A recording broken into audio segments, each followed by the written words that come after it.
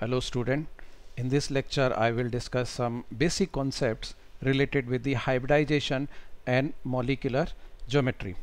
So, आप लोग जानते हैं कि जब दो एटम किसी एलिमेंट के कंबाइन करते हैं तो उनके बीच में बॉन्ड का फॉर्मेशन होता है, ठीक है एलिमेंट्स कंबाइन करते हैं to gain stability because bond formation is an exothermic process तो ये जो बॉन्ड फॉर्म होगा तो इस बॉन्ड के फॉर्मेशन के लिए दो इंपॉर्टेंट पार्ट्स की ज़रूरत होती है, ऐसे कह सकते हैं। जो पहला पार्ट है हमारा, वो है वैलेंस इलेक्ट्रॉन और दूसरा पार्ट जो है, वो वैलेंस ऑर्बिटल तो ये किस एलिमेंट के एटम्स के वैलेंस इलेक्ट्रॉन्स हैं और वैलेंस ऑर्बिटल्स हैं, इसके बेसिस पे हम कह सकते हैं कि हमारे पास में जो है, वो चार बेसिक टाइप के बॉन्ड्स बन सकते हैं। So chemical bond as you know that is an exothermic process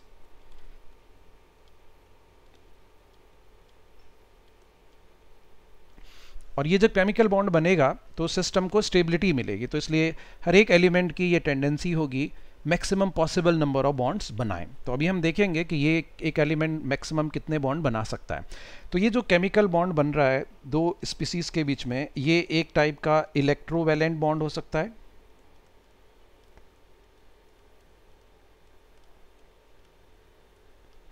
ये जो केमिकल बॉन्ड है, ये एक कोवलेंट बॉन्ड हो सकता है।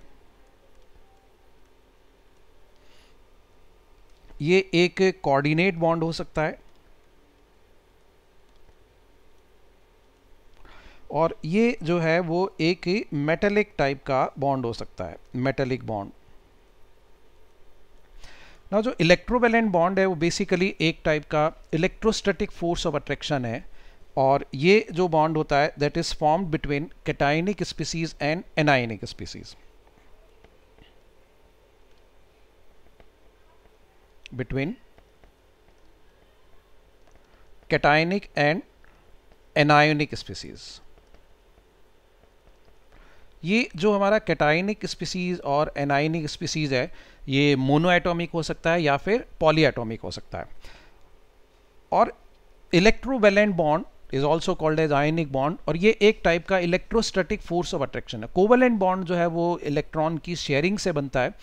और इलेक्ट्रॉन की शेयरिंग जो है वो जनरली नॉन मेटेलिक एटम के बीच में होती है। तो हम ये कह सकते हैं कि कोवलेंट बॉन्ड का जो फॉर्मेशन है between non metallic element by sharing of electrons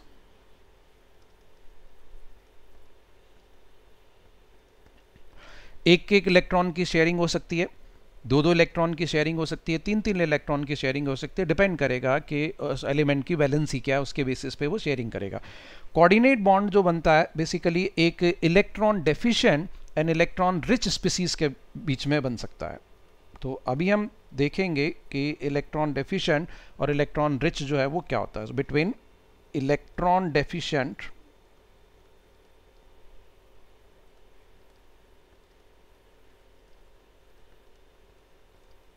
species and electron rich species.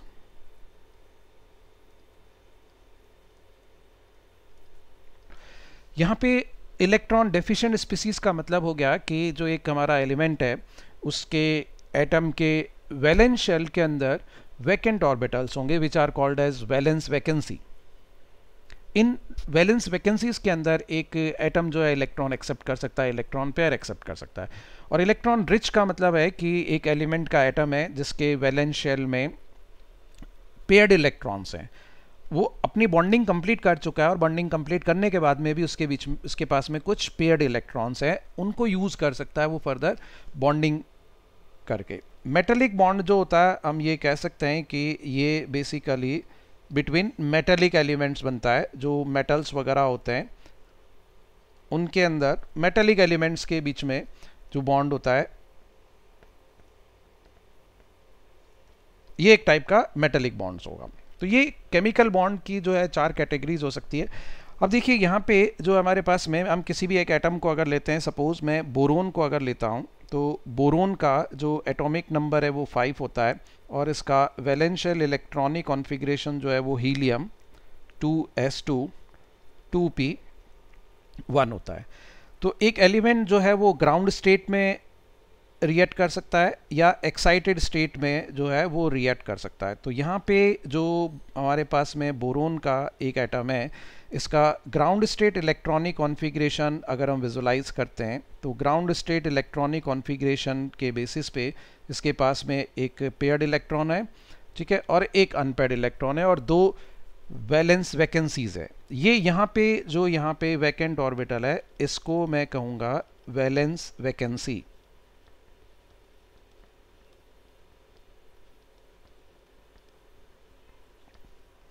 और ये जो हमारे पास में है, यहाँ पे ये इलेक्ट्रॉन है, इनको हम कहेंगे वैलेंस इलेक्ट्रॉन्स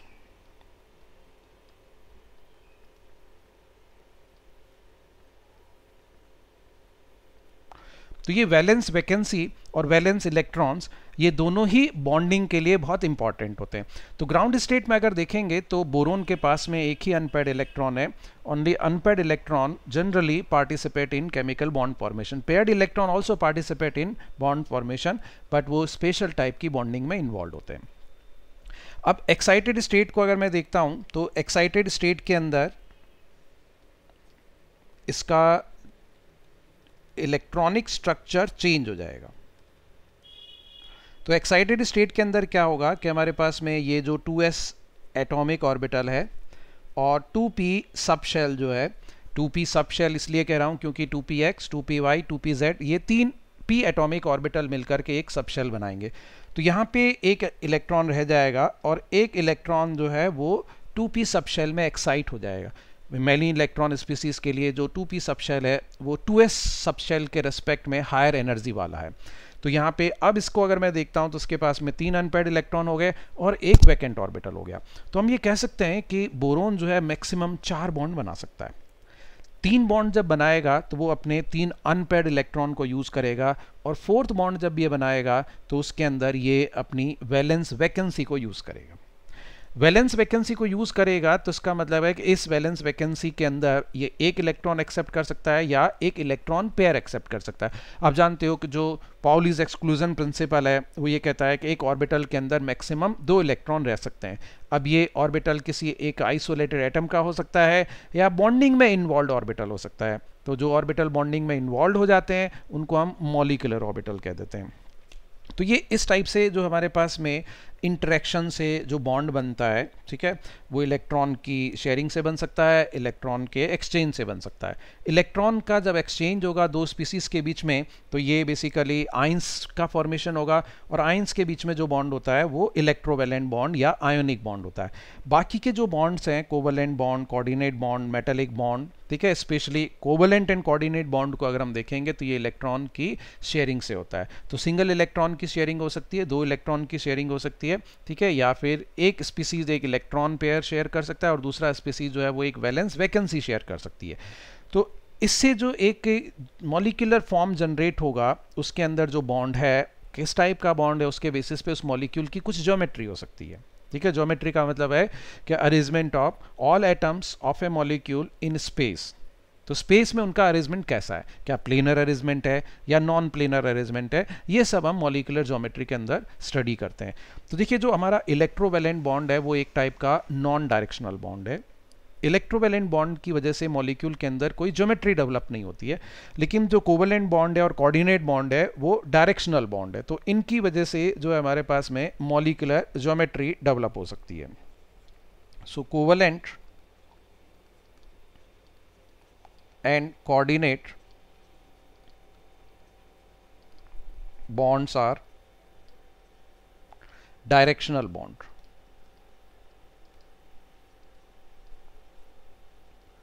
Directional bond का मतलब पर्टिकुलर डायरेक्शन में शेयरिंग से बनेंगे। अच्छा अब दो स्पीसीज अगर आपस में कंबाइन कर रही है सपोज़ कोई एक ए स्पीसीज है और दूसरी बी स्पीसीज है, इनके बीच में कितने इलेक्ट्रॉन की शेयरिंग हो रही है, उसके बी, उसके बेसिस पे वो हमारा बॉन्ड बन सकता है। तो अब हम ये कह सकते हैं कि जो हमारे पास में कोवलेंट बॉन्ड है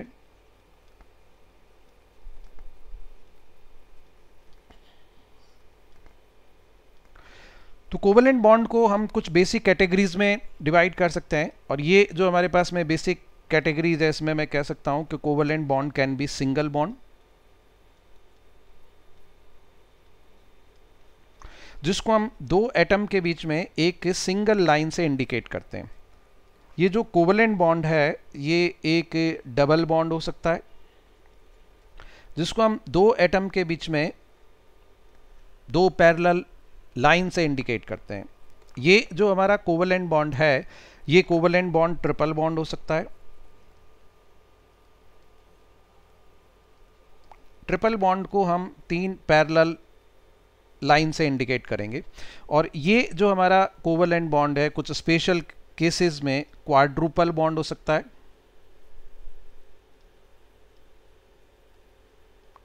क्वाड्रुपल बॉन्ड का मतलब हो गया कि हमारे पास में बेसिकली फोर बॉन्ड्स होंगे। फोर लाइन से इसको हम इंडिकेट करेंगे। और ये जो हमारे पास में दो स्पीसीज के बीच में जो बॉन्ड है, वो क्विंटूपल बॉन्ड भी हो सकता है, ठीक है? क्वाड्रुपल का मतलब फोर हो गए और क्विंटूपल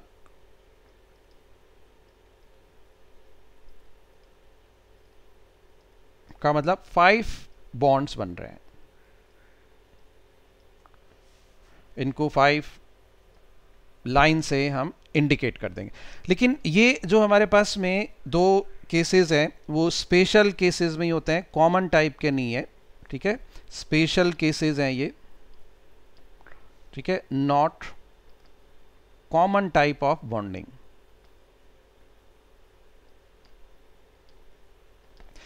ये जो हमारे पास में सिंगल बॉन्ड को छोड़ देते हैं तो बाकी के जो हमारे पास में एग्ज़ाम्पल है, इनको हम कहते हैं multiple bond so multiple covalent bond तो ये जो मल्टीपल कोवलेंट बॉन्ड होता है, ठीक है, इस मल्टीपल कोवलेंट बॉन्ड की कैटेगरी में कौन कौन से आ जाएँगे? हमारा double bond multiple covalent bond की कैटेगरी में आएगा triple bond multiple covalent bond की कैटेगरी में आएगा quadruple bond multiple covalent bond की कैटेगरी में आएगा और क्विंटूपल बॉन्ड जो है, ये भी मल्टीपल कोवलेंट बॉन्ड की कैटेगरी में आएगा।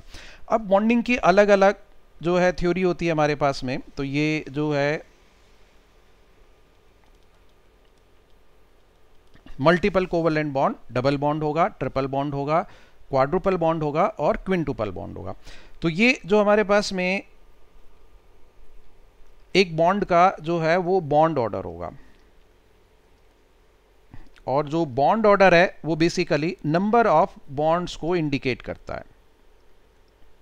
बिटवीन टू एटम्स तो देखिए, अगर हमारे पास में सिंगल बॉन्ड अगर है तो सिंगल बॉन्ड का बॉन्ड ऑर्डर वन हो जाएगा डबल बॉन्ड का बॉन्ड ऑर्डर टू हो जाएगा ट्रिपल बॉन्ड का बॉन्ड ऑर्डर थ्री हो जाएगा क्वाड्रुपल बॉन्ड का बॉन्ड ऑर्डर फोर हो जाएगा और क्विंटूपल बॉन्ड का बॉन्ड ऑर्डर कितना हो जाएगा? फाइव हो जाएगा।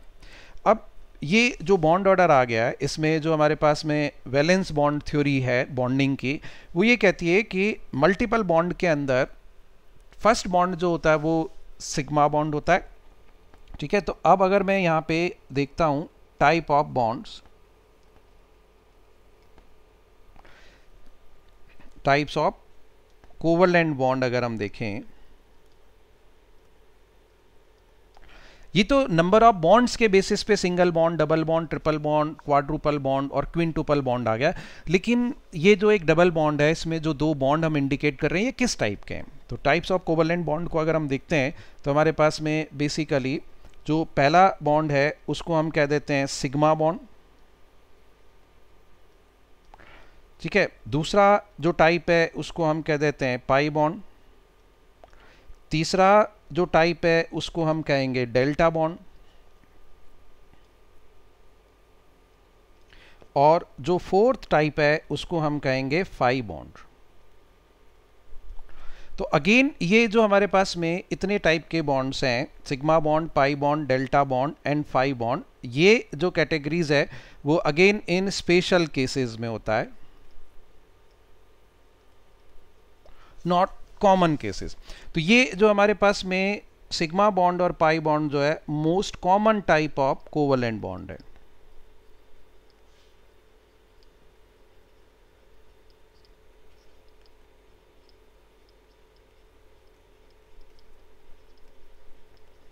Most common type of covalent bond जो है, हमारे पास में ये सिग्मा टाइप के और पाई टाइप के थे ये जैसे आप लोग जानते हो कि हमारे पास में एक एटॉमिक ऑर्बिटल होता है, ठीक है? स्पेशली जो p ऑर्बिटल d ऑर्बिटल और f ऑर्बिटल वैलेंस शेल के अंदर अगर ये है तो इनके पास में नोडल प्लेन भी होता है इनके अंदर। तो ये जो डिवीज़न हमने किया है सिग्मा पाई डेल्टा और फाई ये इस बेसिस पर है कि इनके इनके पास में कितने नोडल प्लेन है। तो सिग्मा बॉन्ड के अंदर कोई नोडल प्लेन नहीं होता है zero nodal plane in sigma bond और पाई बॉन्ड के पास में एक नोडल प्लेन होता है डेल्टा बॉन्ड के पास में दो नोडल प्लेन होते हैं, और फाई बॉन्ड जो होता है उसके पास में तीन नोडल प्लेन होते हैं, उसके अंदर तीन नोडल प्लेन होते हैं। तो ये हमने जो है एक basically types of covalent bond देख लिया। अब जो हमारा सिग्मा बॉन्ड है वो बेसिकली हेड ऑन ओवरलैपिंग से बनता है और स्पेशली पाई बॉन्ड और डेल्टा बॉन्ड जो है, वो लेटरल ओवरलैपिंग से बनते हैं। हेड ऑन का मतलब ऐसे इंटर न्यूक्लियर एक्सिस के अलॉन्ग बनेगा और पाई बॉन्ड और डेल्टा बॉन्ड जो है, वो इस टाइप से यहाँ पर जो है लेटरल ओवरलैपिंग से बनते हैं।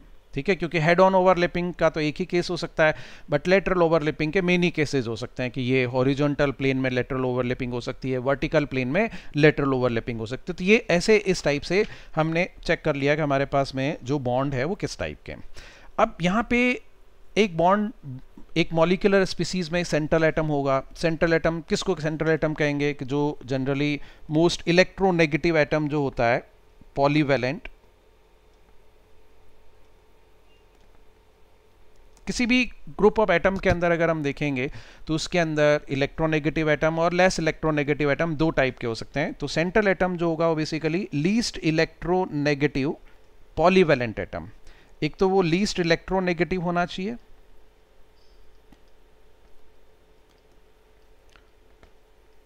एंड पॉलीवेलेंट होना चाहिए। पहली प्रायोरिटी जो है वो वैलेंसी को देंगे। जैसे अगर मैं वाटर को लेता हूँ तो वाटर के अंदर एक ऑक्सीजन है और एक हाइड्रोजन है। इलेक्ट्रोनेगेटिविटी के बेसिस पे हाइड्रोजन तो लीस्ट इलेक्ट्रोनेगेटिव है बट हाइड्रोजन की वैलेंसी एक ही होती है तो इसलिए हाइड्रोजन सेंट्रल एटम नहीं हो सकता है। ऑक्सीजन की वैलेंसी दो होती है तो इसलिए ऑक्सीजन सेंट्रल एटम होगा। तो हम क्या कंसिडर करेंगे? Polyvalent and less least electronegative atom जो है, वो सेंट्रल एटम की तरह एक्ट करेगा। अब सेंट्रल एटम के अराउंड अदर एटम्स अरेंज्ड रहेंगे। अदर एटम्स का अरेंजमेंट कैसा है? कोवलेंट बॉन्ड से अगर बॉन्डेड अदर एटम है तो covalent bond you know that directional bond होता है। तो उस डायरेक्शनल प्रॉपर्टी को समझने के लिए हम जो है यहाँ पे एक suppose C H four molecule को अगर हम लेते हैं सी एच फोर मॉलिक्यूल को अगर हम कंसिडर करते हैं, ठीक है? मेन फोकस हमारा हाइब्रिडाइजेशन पे रहेगा तो हम हाइब्रिडाइजेशन की तरफ़ बढ़ रहे हैं, ठीक है जी? सी एच फोर मॉलिक्यूल के अंदर अगर देखते हैं तो एक कार्बन एटम है और फोर हाइड्रोजन एटम है। कार्बन एटम को अगर देखते हैं आप तो उसका एटॉमिक नंबर सिक्स है और इसका जो इलेक्ट्रॉनिक कॉन्फ़िगरेशन है, वो helium two s two two p, two हो जाएगा। ठीक है? अब ग्राउंड स्टेट में कार्बन के पास में जो वेलेन शेल है, उसके पास में टू एस के अंदर दो इलेक्ट्रॉन पेयर्ड है और 2p के अंदर दो इलेक्ट्रॉन जो है, वो अनपेयर्ड है। तो ग्राउंड स्टेट में कार्बन अगर रिएक्ट करता है, ठीक है तो ये जो है, दो अनपेड इलेक्ट्रॉन को यूज़ करके दो बॉन्ड बना लेगा। दो बॉन्ड बनाने के बाद में भी इसकी और टाइप के बॉन्ड बनाने की कैपेसिटी है।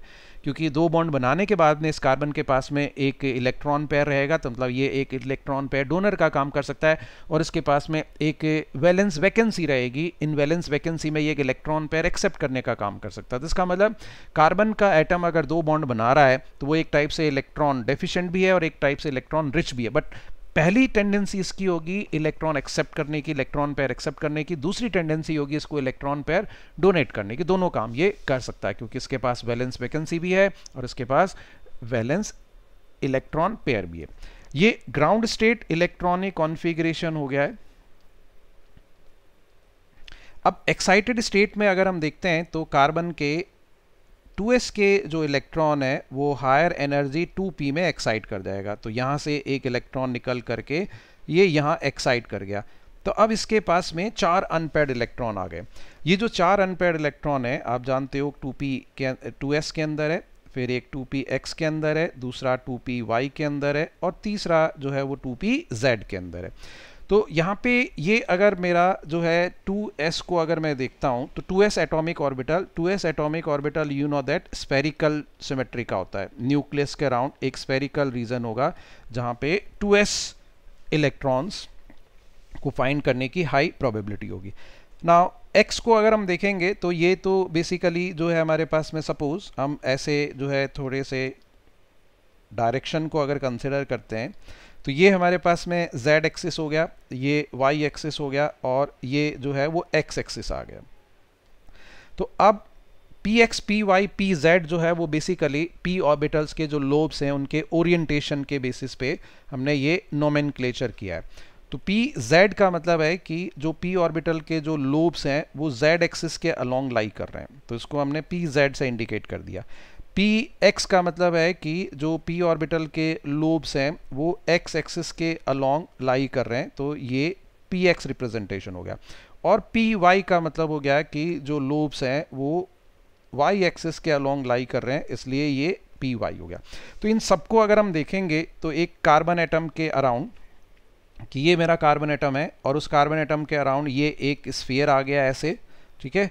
और इस स्फीयर के अराउंड जो है हम ये वेरियस टाइप के पी ऑर्बिटल्स का अरेंजमेंट अगर कर देते हैं तो ये मैंने ले लिया ऐसे पी जेड और थोड़ा सा चेंज कर देते हैं। ये ले लिया है मैंने पी वाई ठीक है? और यहाँ पे ये आ गया है मेरे पास में पी एक्स तो अब चार हाइड्रोजन एटम आएँगे। हाइड्रोजन एटम के पास में तो आप जानते हो कि एक ही जो है हमारे पास में अनपेड इलेक्ट्रॉन होता है तो वो एक ही बॉन्ड बना पाएगा। तो अब ये इतने सारे जो स्पीसीज हमारे पास में है तो इसके बेसिस पे हम ये कह सकते हैं कि ये कार्बन एटम है। इस कार्बन एटम का एक बॉन्ड जो होगा, वो पी जेड के साथ हाइड्रोजन का बन जाएगा।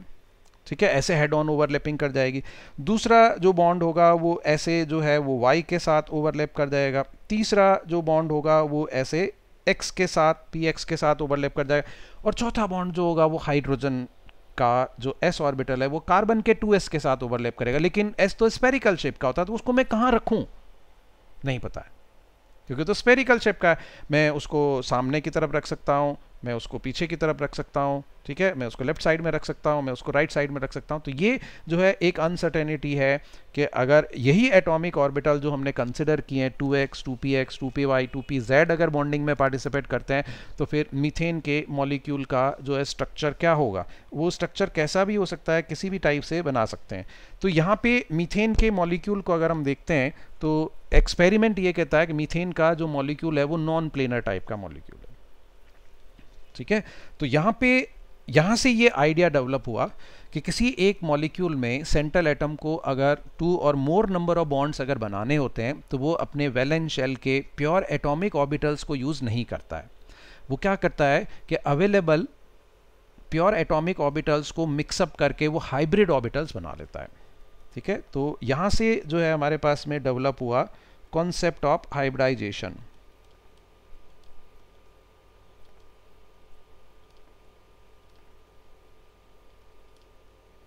concept of hybridization of atomic orbitals.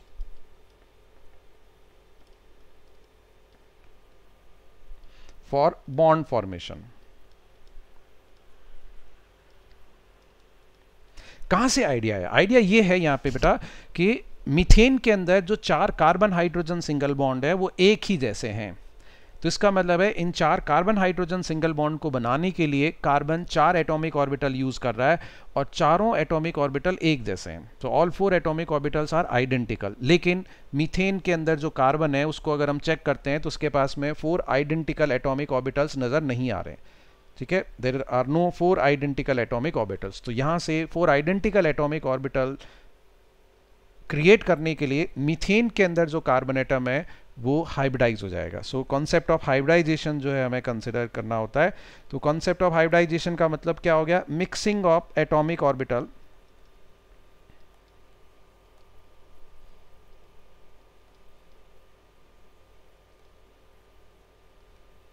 to form equivalent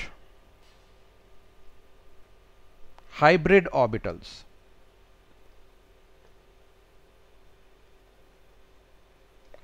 ना जो एटॉमिक ऑर्बिटल्स है हमारे पास में, ये तो आप जानते हो कि एटॉमिक ऑर्बिटल जो है वो कौन कौन से होते हैं? एटॉमिक ऑर्बिटल जो है वो कोई भी एस ऑर्बिटल हो सकता है, कोई भी पी ऑर्बिटल हो सकता है, कोई भी डी ऑर्बिटल हो सकता है, और कोई भी एफ़ ऑर्बिटल हो सकता है। ठीक है? तो उसके बेसिस पे यहाँ से जो है वो इक्विवेलेंट हाइब्रिड ऑर्बिटल्स का फॉर्मेशन हो जाएगा। हाइब्रिड ऑर्बिटल को मैं एच ओ से इंडिकेट कर रहा हूँ।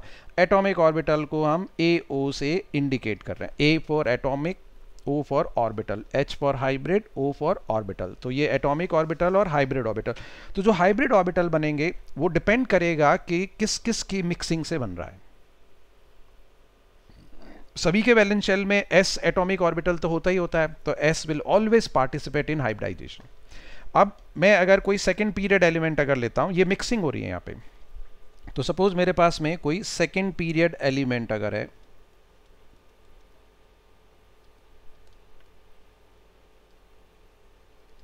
तो एक सेकेंड पीरियड एलिमेंट का जो वेलेंस शेल होता है, उसके अंदर सिर्फ़ दो टाइप के एटॉमिक ऑर्बिटल होते हैं। वैलेंस शेल जो होगा, वो कौन सा होगा? सेकेंड शेल जो है हमारा वैलेंस शेल होगा, जिसका प्रिंसिपल क्वांटम नंबर टू है। तो इस सेकेंड शेल के अंदर सिर्फ़ चार एटॉमिक ऑर्बिटल होंगे। टू एस होगा टू पी एक्स होगा टू पी वाई होगा और टू पी जेड होगा। तो सिर्फ़ यही मिक्सअप होकर के बॉन्डिंग में पार्टिसिपेट कर सकते हैं। So only these atomic orbital participate in hybridization for a second period element molecule लेकिन अगर हम कोई थर्ड पीरियड एलिमेंट अगर लेते हैं,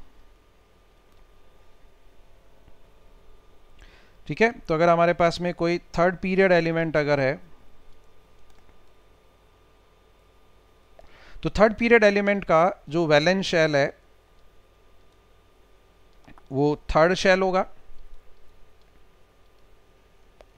और थर्ड शेल के अंदर जो है बेसिकली एक थ्री एस होगा थ्री पी एक्स होगा थ्री पी वाई होगा थ्री पी जेड होगा, ठीक है? और ऐसे ही जो है हमारे पास में थ्री डी जेड स्क्वायर आ जाएगा three d x square minus y square आ जाएगा। जानते हैं ना डी ऑर्बिटल्स का जो अरेंजमेंट है थ्री डी एक्स वाई होगा।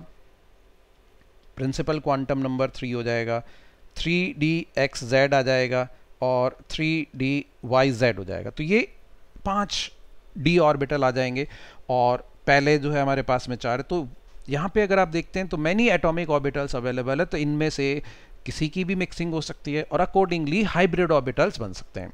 तो ये मिक्सिंग ऑफ़ एटॉमिक ऑर्बिटल जो है, इसको हम कहते हैं हाइब्रिडाइजेशन और कब होगी हाइब्रिडाइजेशन किसी भी मॉलिक्यूल में सेंट्रल एटम को जब भी दो या दो से ज़्यादा बॉन्ड बनाने होंगे तो हमेशा वो हाइब्रिड ऑर्बिटल को यूज़ करेगा बॉन्डिंग के लिए। प्योर एटॉमिक ऑर्बिटल को यूज़ नहीं करेगा। तो हाइब्रिड एटॉमिक ऑर्बिटल को अगर वो यूज़ कर रहा है तो उसके बेसिस पे हाइब्रिडाइजेशन स्टेट क्या हो सकती है? तो अब ये देखो कि हमने जो है एटॉमिक ऑर्बिटल कंसिडर किया है मिक्सिंग के लिए।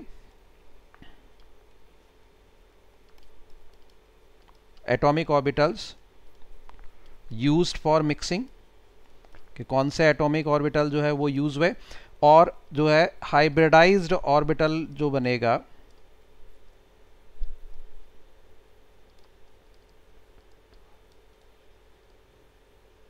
हाइब्रिडाइज्ड ऑर्बिटल्स फॉर्म तो देखिए, अगर आप एक एस ऑर्बिटल ले रहे हैं और i number of p orbital की मिक्सिंग अगर कर रहे हैं तो जो हमारे पास में हाइब्रिडाइज्ड ऑर्बिटल बनेगा, उसका रिप्रेजेंटेशन होगा s p i s orbital और i number of p atomic orbital की मिक्सिंग से बन रहा है।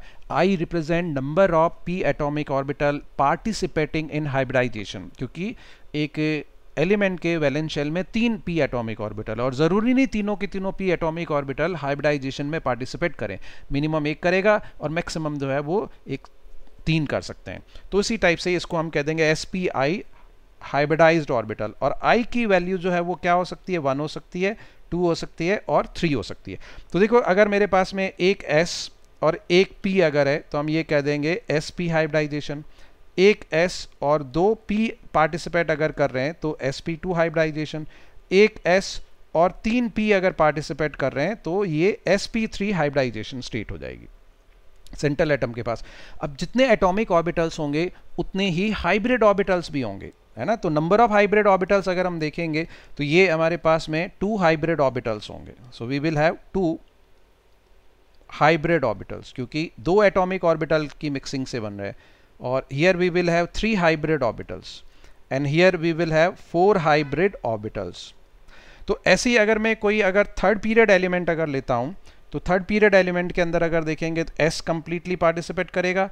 पी सारे के सारे पी अगर पार्टिसिपेट कर जाते हैं, ठीक है, और कुछ आई अगर पार्टिसिपेट कर जाते हैं तो ये हमारे पास में जो हाइब्रिडाइजेशन स्टेट होगी, उसको हम कह देंगे s p three d i हम मान के चल रहे हैं कि सारे p ऑर्बिटल जो है वेलेंस शेल के, वो यूटिलाइज हो रहे हैं। तो ये डी की वैल्यू डी टोटल फाइव होते हैं तो उसके बेसिस पे हम ये कह सकते हैं। जो मोस्ट कॉमन एग्ज़ाम्पल है, वो हम यहाँ पे कंसिडर कर रहे हैं। तो अगेन आई की वैल्यू जो है, वो वन हो सकती है इस केस में टू हो सकती है और थ्री हो सकती है। तो इस टाइप से हम देख सकते हैं कि various type of hybridization state जो है, वो क्या होता है? आई जो है, वो हाइब्रिडाइजेशन इंडेक्स है।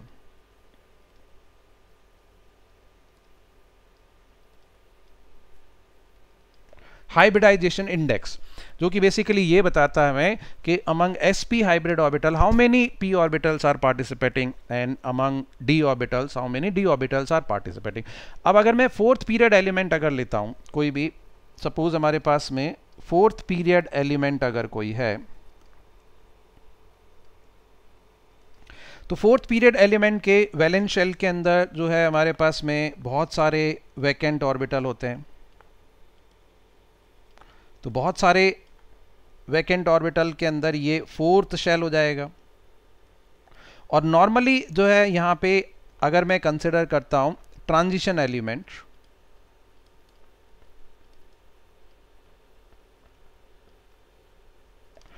ठीक है ट्रांजिशन एलिमेंट अगर कंसिडर करते हैं सपोज़ मैं क्रोमियम को अगर लेता हूँ तो क्रोमियम का इलेक्ट्रॉनिक कॉन्फ़िगरेशन आप लोग जानते हो कि ये हमारे पास में argon three d five four s one होता है। Three d five four s one. तो अब इसका जो हमारे पास में डी ब्लॉक एलिमेंट होते हैं, उनके लिए हम वैलेंस शेल्स कंसिडर करते हैं। वैलेंस शेल नहीं, वैलेंस शेल्स। तो इसका मतलब थ्री डी भी वैलेंस शेल का पार्ट है और फोर्थ जो है हमारे पास में, वो भी पार्ट है। तो ये वैलेंस शेल्स हम कंसिडर करेंगे यहाँ पे। वैलेंस शेल्स जो है यहाँ पे लेना चाहिए। थ्री एंड फोर्थ शेल जो है, वो वैलेंस शेल की कैटेगरी में आएगा। थर्ड शेल का भी एक ऑर्बिटल पार्टिसिपेट करेगा और फोर्थ के जितने भी हैं, वो सारे के सारे पार्टिसिपेट करेंगे। तो अब अगर हम देखते हैं इसको तो इसके पास में बेसिकली थ्री होगा। थ्री के जो डी ऑर्बिटल है, वो पार्टिसिपेट कर सकते हैं। फोर एस का जो है पार्टिसिपेट कर सकता है। फोर पी के ऑर्बिटल्स जो है पार्टिसिपेट कर सकते हैं। और 4D के जो ऑर्बिटल्स है, वो पार्टिसिपेट कर सकते हैं। तो ये 3D है, ये 4S है, ये 4P है और ये जो है वो 4D है। तो यहाँ पे प्रिंसिपल क्वांटम नंबर के बेसिस पे हम जो हाइब्रिड ऑर्बिटल्स के अंदर एटॉमिक ऑर्बिटल्स का अरेंजमेंट होता है, वो कंसिडर करते हैं।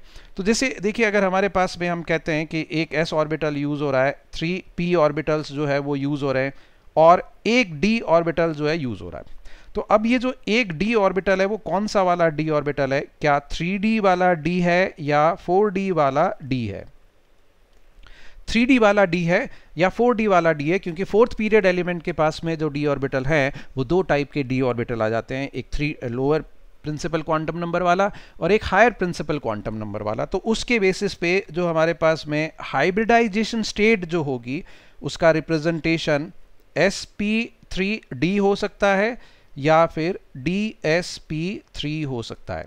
तो ये प्रिंसिपल क्वांटम नंबर को कंसिडर करके हमने अरेंजमेंट किया है। तो यहाँ पे हम ये कहेंगे कि इसका जो प्रिंसिपल क्वांटम नंबर है वो फोर है। तो ये फोर डी वाला डी है। और पहले लिखने का मतलब है कि ये लोअर प्रिंसिपल क्वांटम नंबर वाला है दैट इज़ थ्री डी वाला डी है।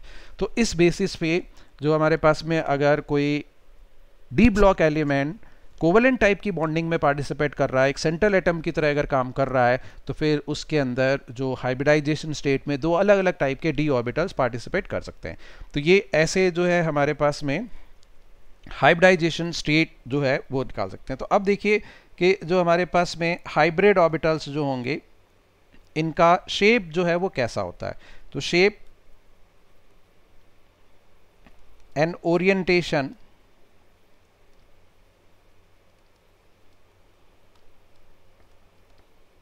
of hybrid orbitals shape and orientation of hybrid orbitals तो देखिए, अगर एक एस ऑर्बिटल और n number of p orbital अगर हाइब्रिडाइजेशन में अगर पार्टिसिपेट करते हैं तो पी तो आप जानते हो कि हमारे पास में जो है, वो डम्बल शेप का होता है। ये एस है और ये पी है। तो इससे जो हमारे पास में हाइब्रिड ऑर्बिटल बनेगा हमेशा उसका शेप जो होगा वो इस टाइप का होगा, जिसके अंदर एक मेजर लोब होगा और एक माइनर लोब होगा। ये यहाँ पे न्यूक्लियस को इंडिकेट करेगा, ठीक है? ये छोटा जो लोब है हमारे पास में, ये माइनर लोब है। और ये बड़ा वाला जो रीज़न है, ये मेजर लोब है। जो मेजर लोब है, ये हाई इलेक्ट्रॉन डेंसिटी रीजन को इंडिकेट करता है। हाई इलेक्ट्रॉन डेंसिटी रीजन को इंडिकेट करता है और माइनर लोब में बिल्कुल मतलब ऑलमोस्ट नेग्लिजिबल इलेक्ट्रॉन डेंसिटी होती है, जिसको हम कंसिडर नहीं करते हैं। यहाँ पे एन इंडिकेट कर रहा है number of p atomic orbitals participating in hybridization तो इसका मतलब है कि ये चाहे मेरे पास में पी हाइब्रिड ऑर्बिटल है, या फिर ये s p two hybrid orbital है, या फिर ये s p three hybrid orbital है, सबका शेप सेम होगा।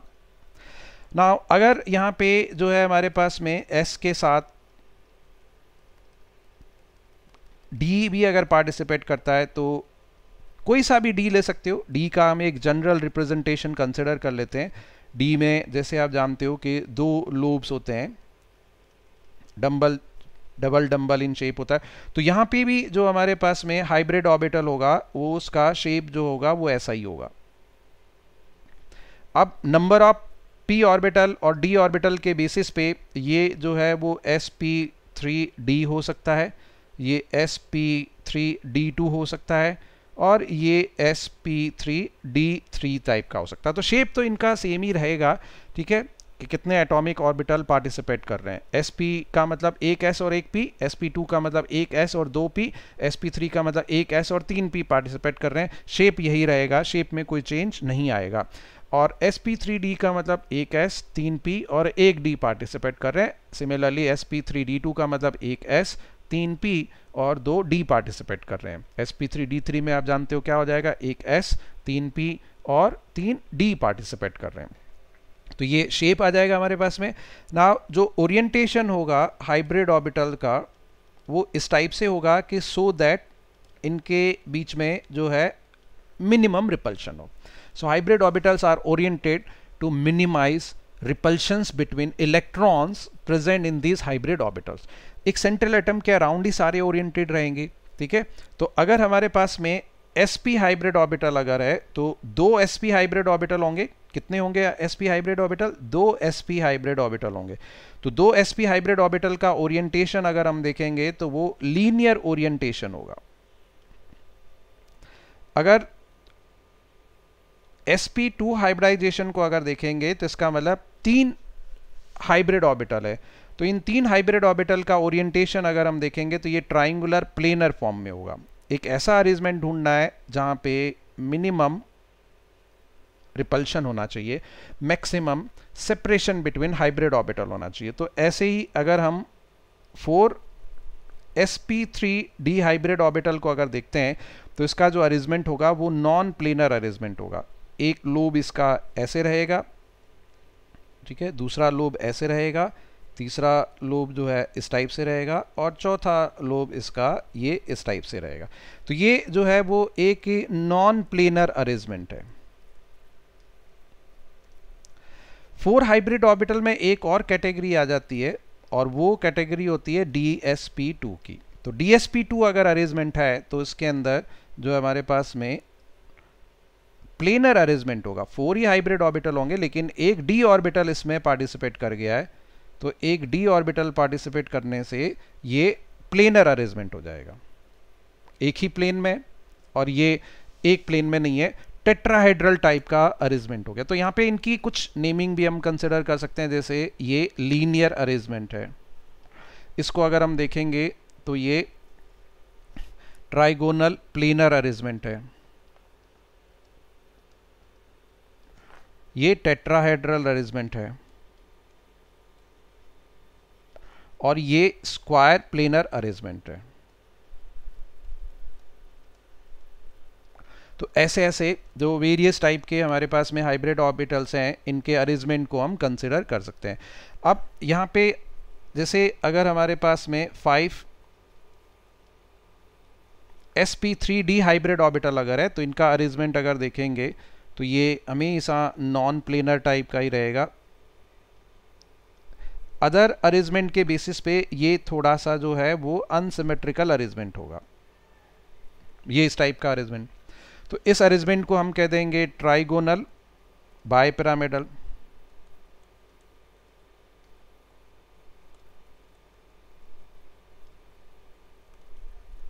ट्राइगोनल बाय पिरामिडल और अगर हमारे पास में six s p three d two hybrid orbitals अगर है तो इनका जो अरेंजमेंट होगा स्पेस में जो ओरिएंटेशन होगा वैसे स्क्वायर बायपिरामिडल अरेंजमेंट और ऑक्टाहाइड्रल अरेंजमेंट हम कह सकते हैं। ऑक्टाहाइड्रल और स्क्वायर बायपिरामिडल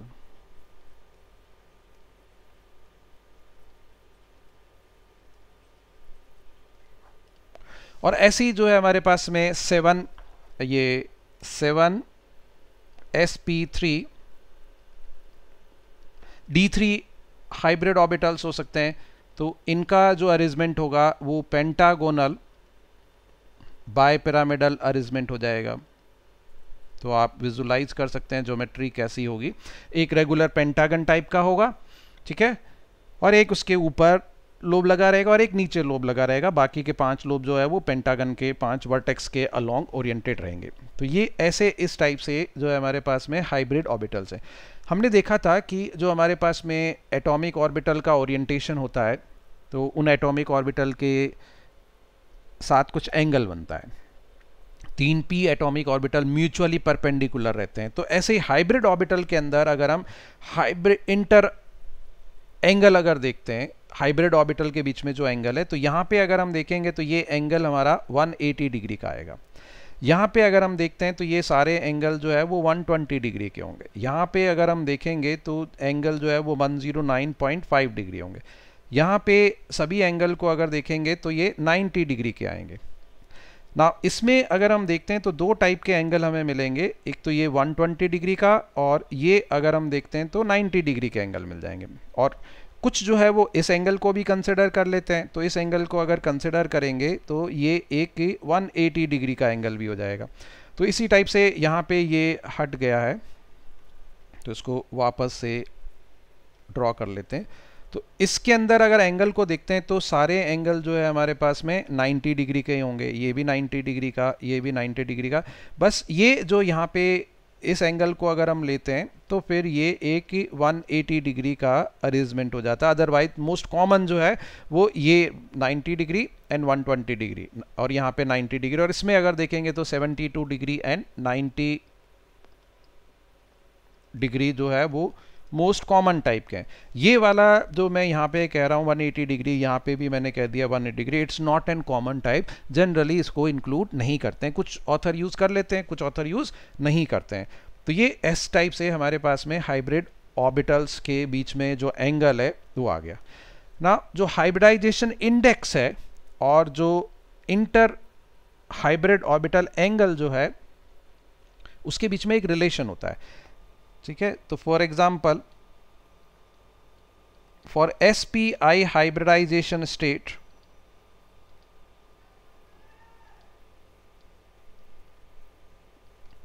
तो ये जो हाइब्रिडाइजेशन इंडेक्स है, उसकी value minus one upon cos theta होगी।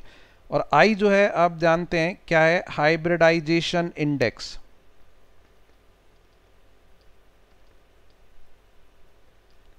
ठीक है? अब यहाँ पे for S P hybridization I की वैल्यू जो है वो हमारे पास में क्या हो जाएगी? वन हो जाएगी और थीटा की value you know that 180 degree आती है। For S P two hybridization I की वैल्यू जो है वो टू होगी और थीटा की वैल्यू जो होती है वो 120 डिग्री होती है। और ऐसे ही हम बाकी सबके लिए भी चेक कर सकते हैं कंसिडर कर सकते हैं। तो ये हाइब्रिडाइजेशन स्टेट हो गया। हाइब्रिडाइजेशन स्टेट अगर हमें किसी की पता चल जाती है तो हम बता सकते हैं कि उसकी मॉलिकुलर ज्योमेट्री जो है वो क्या होगी। Sp हाइब्रिडाइजेशन स्टेट है तो लीनियर मॉलिकुलर ज्योमेट्री होगी। एस पी टू है तो triangular trigonal planar molecular geometry होगी। एस पी थ्री अगर है तो ये हमारे पास में टेट्राहेड्रल मॉलिकुलर ज्योमेट्री हो जाएगी।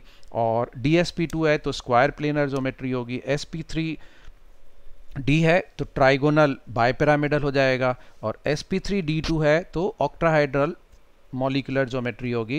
एंड सिमिलरली फॉर sp3d3 ये हमारे पास में pentagonal bipyramidal molecular geometry है। तो अब ये हाइब्रिडाइजेशन स्टेट कैसे डिटरमाइन किया जा सकता है? सो दैट इमिडिएटली हमें मॉलिकुलर ज्योमेट्री का पता लग जाएगा। So hybridization state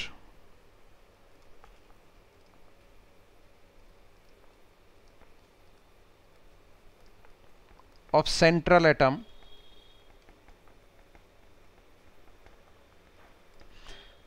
of central atom of polyatomic species central atom of polyatomic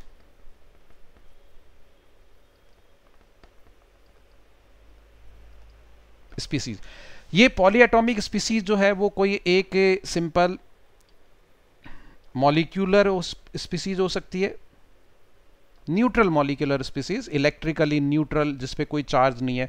for example कि ये SO3 हो सकता है। ये जो है, वो कोई कैटाइनिक स्पीसीज हो सकती है। सपोज़ हमारे पास में ये PCl4 प्लस हो गया। ये कोई एक एनाइनिक स्पीसीज हो सकती है। सपोज़ हमारे पास में ये आई थ्री माइनस हो गया। तो इसके अंदर एक सेंट्रल एटम होगा। सेंट्रल एटम कौन सा होगा? ये तो मैंने आपको बताया है। ठीक है? कौन सा होगा central atom polyvalent least electronegative atom will act as a central atom तो अब पॉलीएटॉमिक स्पीसीज को हम दो कैटेगरी में डिवाइड कर सकते हैं कि polyatomic species having only one central atom and polyatomic species having many central atom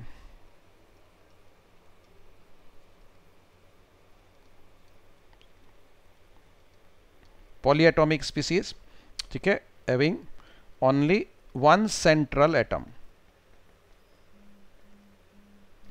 तो ये जो वन सेंट्रल एटम है तो इसके अंदर अगर हम देखते हैं तो सपोज़ मेरे पास में ये मीथेन का एक मॉलिक्यूल है तो इसमें एक ही सेंट्रल एटम है कार्बन एक ही पॉलीवेलेंट एटम है तो इसलिए एक ही सेंट्रल एटम होगा.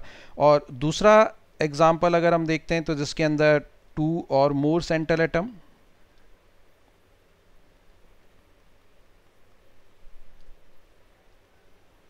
तो टू और मोर सेंट्रल एटम अगर मैं देखता हूँ तो जैसे सपोज़ मैं एक एग्जांपल ले लेता हूँ कि ये C H three C O O H तो इसका स्ट्रक्चर जो है आप लोग जानते हो कि इसके अंदर ये इस टाइप से हमारा स्ट्रक्चर बना हुआ रहता है। तो अब इस मॉलिक्यूल के अंदर अगर हम देखेंगे जिसकी भी वैलेंसी एक, एक से ज़्यादा है वो सेंट्रल एटम का काम करेगा। तो ये कार्बन जो है वो भी एक सेंट्रल एटम है। ये कार्बन जो है वो भी एक सेंट्रल एटम है और ये जो ऑक्सीजन है वो भी एक सेंट्रल एटम है। तो ये सब सेंट्रल एटम है।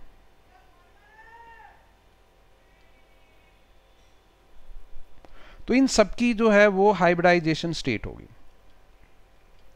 तो किसी स्पीसीज के पास में मैनी सेंट्रल एटम अगर है टू और मोर सेंट्रल एटम है तो उसकी हाइब्रिडाइजेशन स्टेट निकालने के लिए उसके स्ट्रक्चर का नॉलेज पता होना चाहिए। मतलब कनेक्टिविटी का नॉलेज होना चाहिए कि वेरियस एटम्स कैसे कनेक्टेड हैं। और किसी के अंदर अगर एक ही सेंट्रल एटम है तो उस केस में हमें कोई कनेक्टिविटी का नॉलेज नहीं होना चाहिए। ज़रूरी नहीं है मतलब होता है तो बहुत ईजी हो जाता है, ठीक है? तो सबसे पहले हम देख लेते हैं कि हमारे पास में अगर एक ही सेंट्रल एटम है तो हम क्या करेंगे? So for polyatomic species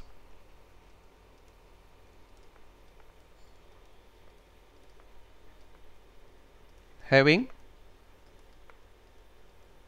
only one central atom. तो polyatomic species having only one central atom एक ही सेंट्रल एटम है तो अब क्या करेंगे हम कि यहाँ पे जो है, मैं एक सिंपल सा फॉर्मूला यूज़ करता हूँ और वो है कि मैंने ये कैपिटल एन की वैल्यू कैलकुलेट करनी है। और कैपिटल एन जो है इंडिकेट करता है number of hybrid orbitals used by central atom तो ये जो नंबर ऑफ़ हाइब्रिड ऑर्बिटल होंगे सेंट्रल एटम के, उसकी वैल्यू हमें फाइंड आउट करनी होगी। अब नंबर ऑफ़ हाइब्रिड ऑर्बिटल ये सजेस्ट करेगा कि कितने एटॉमिक ऑर्बिटल्स की मिक्सिंग होगी। अगर दो हाइब्रिड ऑर्बिटल आते हैं तो इसका मतलब दो एटॉमिक ऑर्बिटल की मिक्सिंग होगी। उन दो एटॉमिक ऑर्बिटल में से एक तो डेफिनेटली एस होगा ही होगा। दूसरा पी हो सकता है या फिर डी भी हो सकता है। डिपेंडिंग कि ये हमारे पास में सेकेंड पीरियड एलिमेंट है या फिर फोर्थ पीरियड एलिमेंट है, क्योंकि फोर्थ पीरियड एलिमेंट के वैलेंस शेल में डी भी होता है। थर्ड पीरियड एलिमेंट अगर है तो उसके वैलेंस शेल में डी होता है, लेकिन उससे पहले पी को यूज़ होना पड़ेगा। बट फोर्थ पीरियड एलिमेंट के अंदर डी भी आ सकता है तो इसलिए number of hybrid orbitals use by central atom निकालना होता है। दो हाइब्रिड ऑर्बिटल अगर होंगे तो अब यहाँ से n की वैल्यू हम निकाल देंगे तो हमें पता लग जाएगा कि हाइब्रिडाइजेशन स्टेट जो है वो क्या होगी। और हाइब्रिडाइजेशन स्टेट पता चलने के बाद में हम ये कह सकते हैं कि मॉलिक्यूलर ज्योमेट्री जो है वो क्या होगी। मॉलिक्यूलर ज्योमेट्री क्या होगी। एन की वैल्यू अगर टू आती है तो जनरली जो हाइब्रिडाइजेशन स्टेट होता है, वो एसपी होता है। मैं फोकस कर रहा हूँ सेकेंड पीरियड एलिमेंट और थर्ड पीरियड एलिमेंट तक। मैंने अभी फोर्थ पीरियड एलिमेंट बिल्कुल भी कंसिडर नहीं किया है। ये ध्यान रखना ठीक है?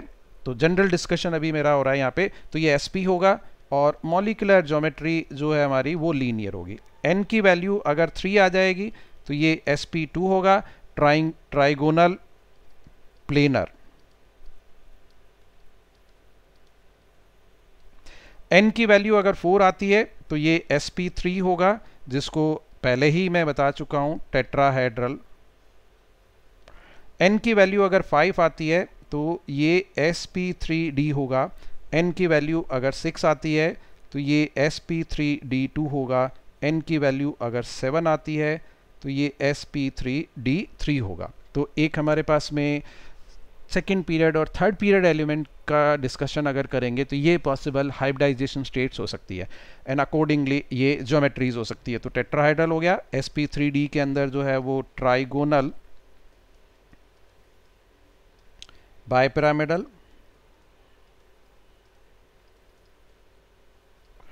और यहाँ पे ये ऑक्टाहेड्रल और S P three D three के अंदर know very well that is pentagonal bipyramidal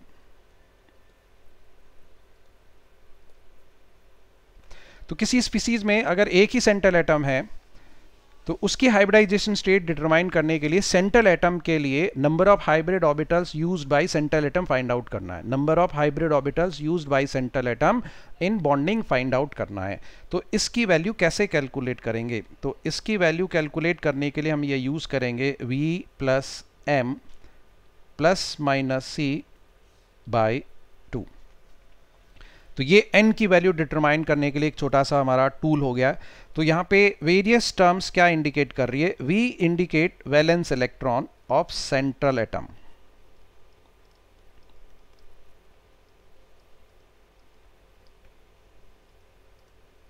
valence electron of central atom को इंडिकेट करेगा। M जो है बेसिकली एक नंबर है तो जो अदर एटम के लिए हम देखेंगे, ये बेसिकली हमारे पास में m जो होगा वो फॉर अदर एटम यूज़ करेंगे। अब अदर एटम कैसा है कि अदर एटम अगर सपोज़ मोनोवेलेंट है फॉर अदर एटम तो मोनोवेलेंट अगर है, जिसकी वैलेंसी वन है तो एम की वैल्यू वन हो जाएगी। डाइवेलेंट अगर है डाइवेलेंट का मतलब जिसकी वैलेंसी दो होती है तो एम की वैल्यू ज़ीरो हो जाएगी। और ट्राईवेलेंट अगर है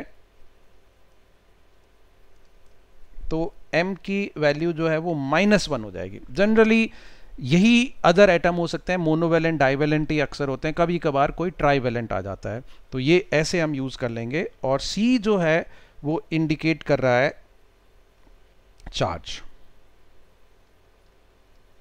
चार्ज के लिए वैल्यू होगी। For charge of molecular species क्योंकि जैसे मैंने कहा था कि हमारे पास में ये जो एक पॉली एटोमिक मॉलिकुलर स्पीसीज है, वो कोई एक इलेक्ट्रिकली न्यूट्रल मॉलिक्यूल हो सकता है, या फिर ये कोई एक कैटायनिक स्पीसीज हो सकता है, या फिर ये कोई एक एनाइनिक स्पीसीज हो सकता है। ठीक है? तो अब यहाँ पे कैटायनिक स्पीसीज अगर है तो चार्ज को ऐड करना है। So add charge of cationic species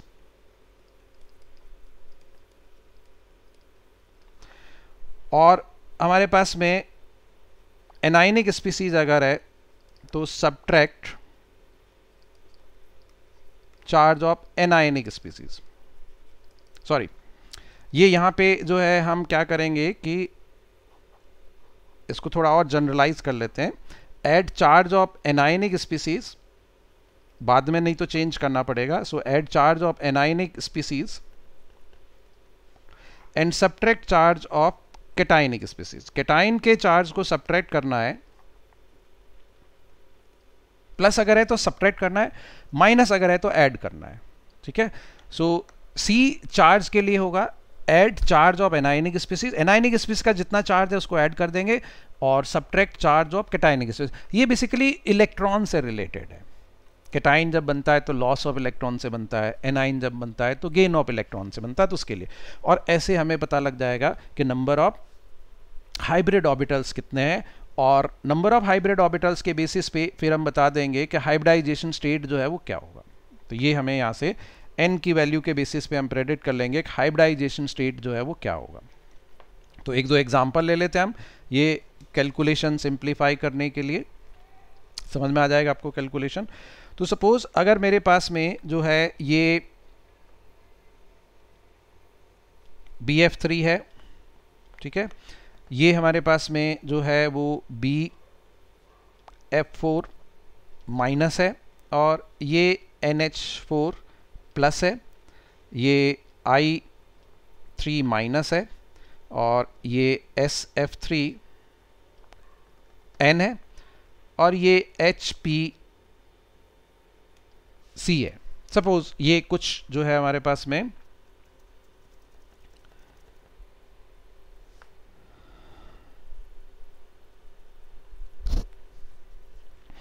तो बी एफ़ थ्री के लिए अगर मैं देखता हूँ बी एफ़ थ्री के लिए अगर हम एन की वैल्यू को अगर कैलकुलेट करते हैं तो देखिए यहाँ पे कि जो हमारा सेंट्रल एटम है, वो बोरोन हो जाएगा। इस बोरोन के वैलेंस शेल के अंदर जो है वो फाइव इलेक्ट्रॉन्स होंगे। अदर मोनोवेलेंट एटम हेलोजन जो है वो मोनोवेलेंट होता है जब अदर एटम की तरह काम करता है तो एम की वैल्यू जो है इसके लिए थ्री हो जाएगी, है ना? तो अब जो है एन की वैल्यू अगर हम निकालेंगे, कोई चार्ज नहीं है तो सी की वैल्यू जो है वो क्या हो जाएगी? ज़ीरो हो जाएगी। चार्ज है ही नहीं यहाँ पे तो सी की वैल्यू ज़ीरो हो जाएगी। तो आप देख सकते हैं five plus three upon two that is four आ जाएगा। सॉरी ये हमारे पास में टोटल इलेक्ट्रॉन इसके पास फाइव है, हमें तो सिर्फ़ वैलेंस इलेक्ट्रॉन ढूंढना है तो वैलेंस इलेक्ट्रॉन इसके थ्री होंगे। टोटल इलेक्ट्रॉन फाइव है, हमें सिर्फ़ वैलेंस इलेक्ट्रॉन ढूंढना है तो वैलेंस इलेक्ट्रॉन इसके थ्री हो जाएँगे तो three plus three upon two जो है थ्री आ जाएगा। इसी टाइप से अगर हम बी एफ़ फोर माइनस को अगर देखते हैं तो बी एफ़ फोर माइनस के अंदर सेंट्रल एटम वही हमारा बोरोन है, जिसके पास फाइव वैलेंस इलेक्ट्रॉन है। फाइव टोटल इलेक्ट्रॉन है सॉरी और वैलेंस इलेक्ट्रॉन जो है वो थ्री होंगे। अब m की वैल्यू यहाँ पे फोर हो जाएगी क्योंकि चार फ्लोरीन है, चारों के चारों फ्लोरीन मोनोवेलेंट की तरह काम करेगा। और ये एक एनाइनिक स्पीसीज है तो c की वैल्यू जो है वो प्लस वन हो जाएगी। तो यहाँ पे three plus four seven plus one eight upon two equals to N की वैल्यू फोर आ जाएगी। तो यहाँ पे हाइब्रिडाइजेशन स्टेट भी हम निकाल सकते हैं। तो हाइब्रिडाइजेशन स्टेट अगर देखेंगे तो तीन हाइब्रिड ऑर्बिटल चाहिए उसमें से एक एस होगा और दो पी होंगे। यहाँ पे चार हाइब्रिड ऑर्बिटल चाहिएँगे, उसमें से एक एस होगा और तीन पी होंगे क्योंकि ये बोरोन एक सेकेंड पीरियड एलिमेंट है। इसी टाइप से एन एच फोर प्लस के लिए अगर हम देखेंगे तो सेंट्रल एटम हमारा नाइट्रोजन है, जिसका एटॉमिक नंबर सेवन है और उसके वैलेंस शेल में फाइव इलेक्ट्रॉन्स हैं। एम की वैल्यू यहाँ पे फोर हो जाएगी क्योंकि all four hydrogen atom are monovalent, और सी की वैल्यू जो है वो माइनस वन हो जाएगी, क्योंकि हमें क्या करना है? Subtract charge of cationic species and add the charge of anionic species तो एन की वैल्यू अगर देखेंगे तो five plus four minus one upon two तो ये फोर ही आएगा, और इसका हाइब्रिडाइजेशन स्टेट जो है वो एस पी थ्री हो जाएगा। ना यहाँ पे अगर मैं एस एफ़ थ्री एन को पहले ले लेता हूँ। तो सेंट्रल एटम हमारा सल्फ़र है, जिसका एटॉमिक नंबर 16 है, और उसके वैलेंस शेल में सिक्स इलेक्ट्रॉन्स होते हैं। नाउ अब एम की वैल्यू अगर हम देखेंगे तो यहाँ पे जो हमारे पास में तीन तो फ्लोरीन है, जिसके लिए प्लस थ्री हो जाएगा, और एक नाइट्रोजन है। नाइट्रोजन ट्राईवेलेंट है। अदर एटम को कितने चार अदर एटम है। तो उसमें से तीन फ्लोरीन है और एक नाइट्रोजन है। नाइट्रोजन ट्राईवेलेंट है। तो ये बेसिकली जो है four minus three minus one हमें यूज़ करना होगा, ठीक है? Plus three and minus one लेना होगा एम के लिए। Plus three for three fluorine atom and minus one for one nitrogen atom तो अब आप देख सकते हैं six plus three nine minus one eight upon two charge में कुछ नहीं आएगा तो उसकी वैल्यू फिर फोर आ जाएगी। हाइब्रिडाइजेशन स्टेट जो है वो क्या हो जाएगी? एस पी थ्री हो जाएगी। तो ऐसे आप कुछ भी एग्ज़ाम्पल ले सकते हैं। सिमिलरली अगर सपोज़ मेरे पास में जो है ये एसओ फोर टू माइनस है। तो इसके लिए सेंट्रल एटम हमारा सल्फ़र ही है, जिसके पास सिक्स वैलेंस इलेक्ट्रॉन है। एम की वैल्यू यहाँ पे ज़ीरो हो जाएगी क्योंकि अदर एटम जो है वो ऑक्सीजन है। तो ऑक्सीजन के लिए डाइवेलेंट एटम है। डाइवेलेंट एटम के लिए एम की वैल्यू को हम क्या कंसिडर करते हैं? ज़ीरो कंसिडर करते हैं। चार्ज यहाँ पे जो है वो सी की वैल्यू प्लस टू हो जाएगी। तो six plus zero plus two upon two तो ये भी फोर आ जाएगा। दैट इज़ इसका भी जो हाइब्रिडाइजेशन स्टेट है वो एस पी थ्री होगा। और अगर हम ये लेते हैं हमारे पास में, ठीक है? तो ये जो है basically S F four O को अगर हम ले लेते हैं तो सेंट्रल एटम यहाँ पे अगेन सल्फ़र है, उसके वैलेंस इलेक्ट्रॉन सिक्स है। एम की वैल्यू अब यहाँ पे सिर्फ़ जो है चार फ्लोरीन की वजह से आ जाएगा ऑक्सीजन की वजह से जो है वो क्या हो जाएगा? ज़ीरो हो जाएगा।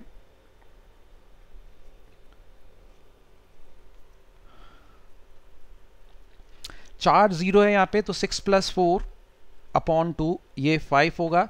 और हाइब्रिडाइजेशन स्टेट जो है, इसका एस पी थ्री डी आ जाएगा। तो ऐसे आप सोच करके चेक कर सकते हैं क्या है। अगर सपोज़ कुछ ऐसा अगर बना हुआ है S A four C H two तो जस्ट थोड़ा सा एनालाइज करना पड़ेगा। सी एच टू एक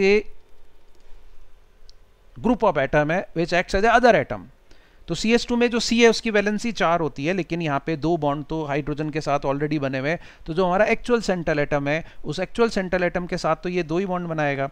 तो यहाँ पे जो फ्लोरीन आएगा तो सेंट्रल एटम अगेन सल्फ़र है, जिसके लिए एटॉमिक नंबर 16 है वैलेंस इलेक्ट्रॉन 6 है। अब यहाँ पे भी 4 ही होगा, क्योंकि इस सी एच टू के लिए जो एम होगा, वो ज़ीरो होगा क्योंकि हम इसको बाईवेलेंट कंसिडर कर रहे हैं। देखेंगे ना आप, क्योंकि सी एच टू के अंदर अगर मैं देखता हूँ तो दो बॉन्ड बने हुए होंगे इधर। ये दो बॉन्ड इधर और बनाएगा तो ये बाईवेलेंट हो गया लाइक ओ चार्ज कुछ है ही नहीं यहाँ पे तो यहाँ पे भी अगर हम देखेंगे तो उसकी वैल्यू फाइव हो जाएगी hybridization state S P three D हो जाएगा।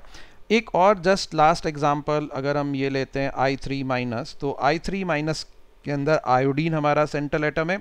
आयोडीन एक हेलोजन है और सारे हेलोजन के पास में सेवन बैलेंस इलेक्ट्रॉन होते हैं। अब तीन आयोडीन में से कोई एक आयोडीन सेंटर में रहेगा तो बाकी के जो दो आयोडीन है, वो अदर एटम की तरह काम करेंगे। तो उसके लिए जो है वैल्यू टू हो जाएगी। चार्ज यहाँ पे माइनस वन है तो प्लस वन कर देंगे। तो देखिए seven plus two nine plus one ten upon two तो ये फाइव हो गया।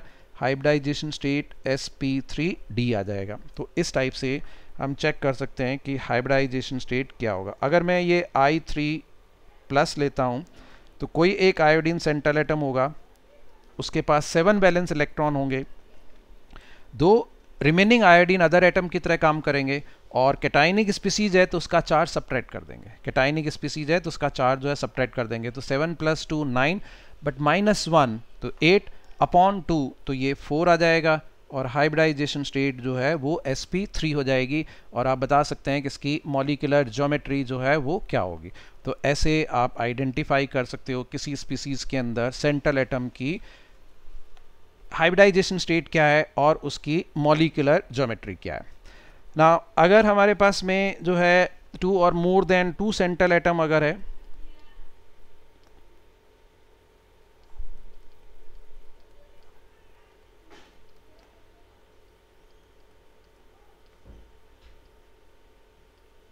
two or more than two central atom अगर है तो उस केस में क्या करेंगे कि हम जो है, हमें कनेक्टिविटी पता होनी चाहिए, हमें स्ट्रक्चर पता होना चाहिए।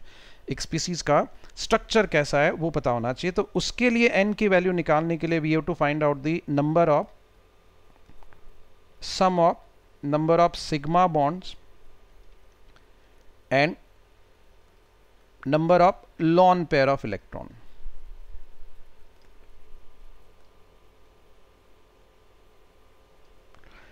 ठीक है?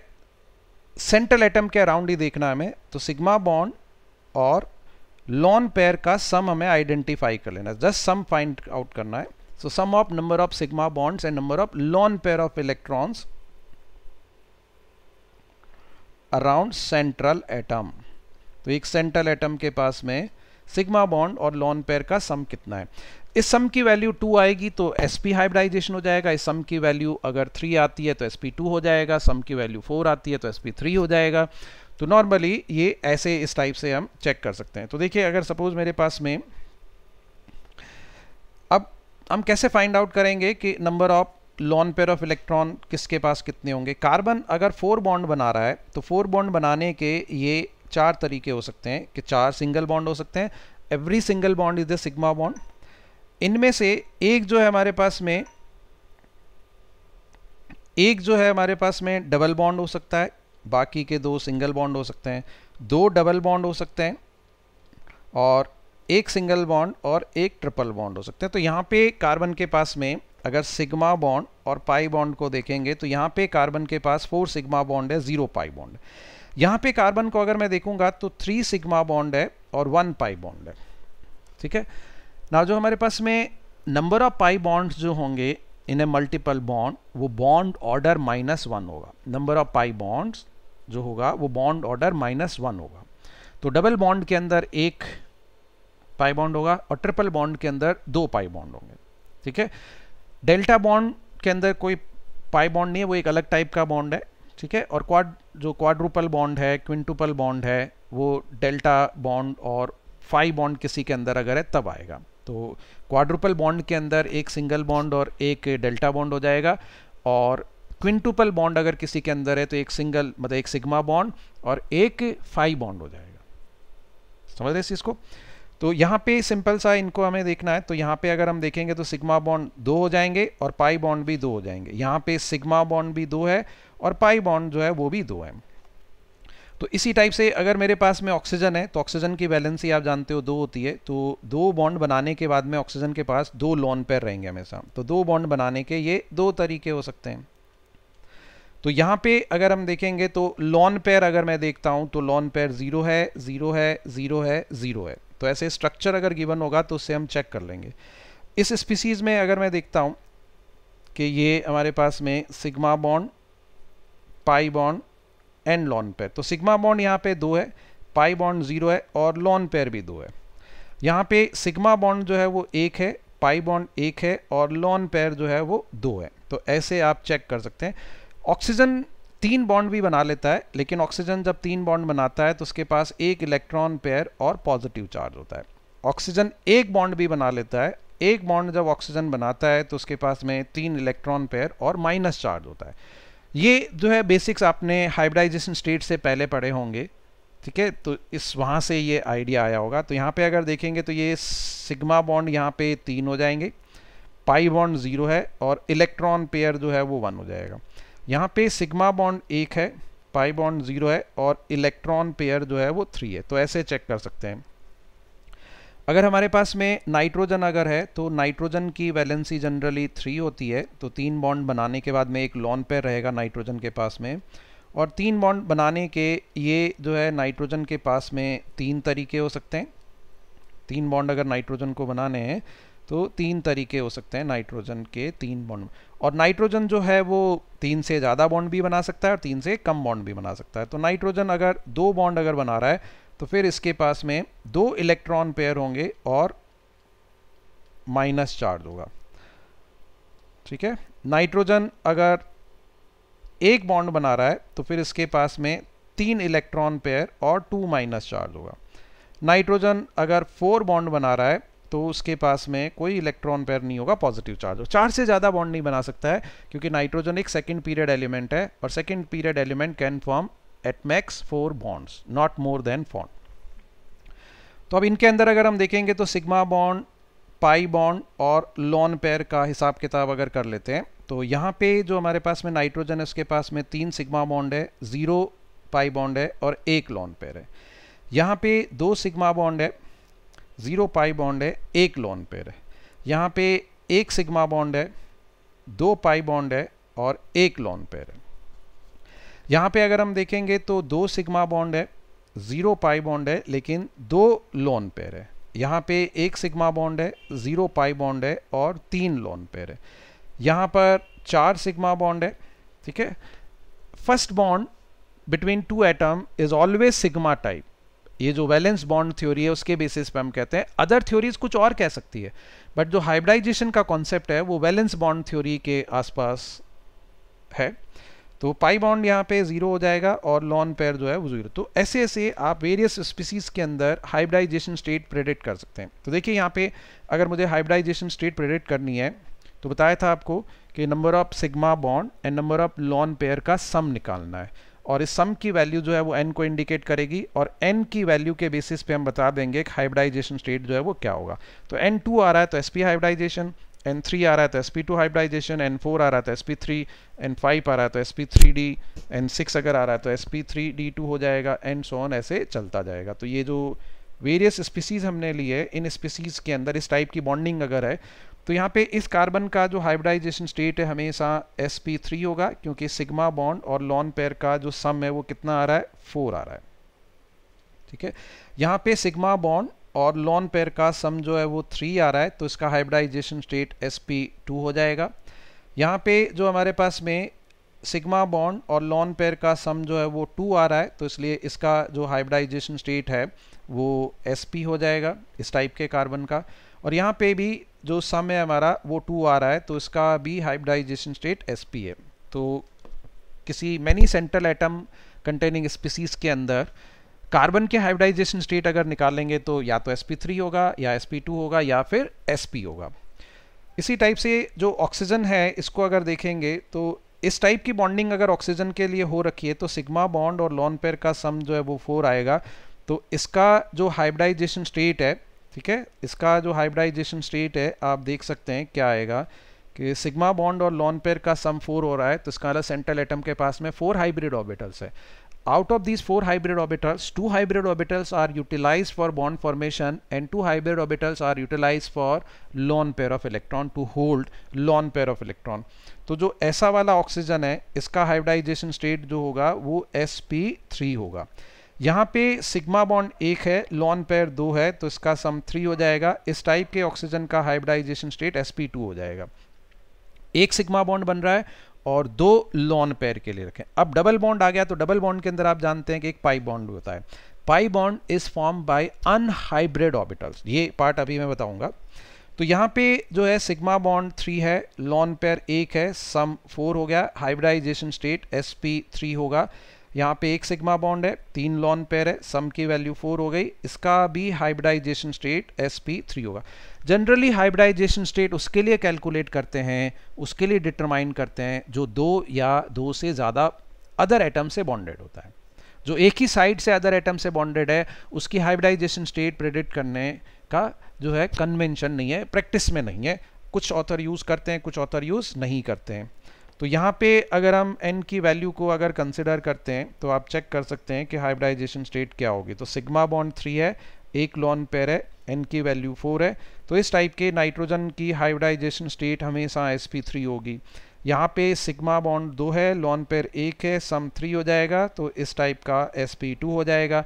यहाँ पे वन और वन टू हो जाएगा sp हो जाएगा। यहाँ पे टू और टू फोर हो जाएगा, ठीक है? ये टू है, ये फोर है सिग्मा बॉन्ड और लॉन पेयर का सम तो इसका hybridization state S P three हो गया। यहाँ पे भी सम जो है फोर आ रहा है तो इसका hybridization state S P three हो गया। यहाँ पे भी सम जो है फोर आ रहा है तो इसका हाइब्रिडाइजेशन स्टेट जो है वो एस हो गया। एक और एग्ज़ाम्पल हम ले लेते हैं। जैसे सपोज़ हमारे पास में जो है फॉस्फोरस अगर है, ठीक है? तो फॉस्फोरस जो है वो थ्री बॉन्ड भी बना सकता है और फॉस्फोरस जो है वो फाइव बॉन्ड भी बना सकता है। तो थ्री बॉन्ड अगर बनाएगा फॉस्फोरस तो नाइट्रोजन की तरह आप जानते हैं कि ये इस टाइप का अरेंजमेंट हो सकता है ट्रिपल बॉन्ड टाइप का। और फाइव बॉन्ड अगर बना रहा है फॉस्फोरस तो फाइव बॉन्ड बनाने के लिए फाइव सिग्मा बॉन्ड हो सकते हैं, ये ऐसे। या फिर इसमें से जो है एक डबल बॉन्ड और तीन सिंगल बॉन्ड हो सकते हैं। या फिर हम ये कह सकते हैं कि हमारे पास में जो है और भी पॉसिबिलिटीज़ हम चेक कर सकते हैं कि इसके अंदर क्या क्या हो सकती है बट मेनली जो है वो यही केसेस होते हैं, इससे ज़्यादा और कुछ जो है पॉसिबल नहीं हो सकता। तो अब आप यहाँ पे, जब फाइव बॉन्ड बनाएगा तो कोई इलेक्ट्रॉन पेयर नहीं होगा। तो यहाँ पे सिग्मा बॉन्ड पाई बॉन्ड और लॉन पेयर एंड एन की कैलकुलेशन कर सकते हैं और हाइब्रिडाइजेशन स्टेट बता सकते हैं जो है वो क्या होगी। तो ये हाइब्रिडाइजेशन स्टेट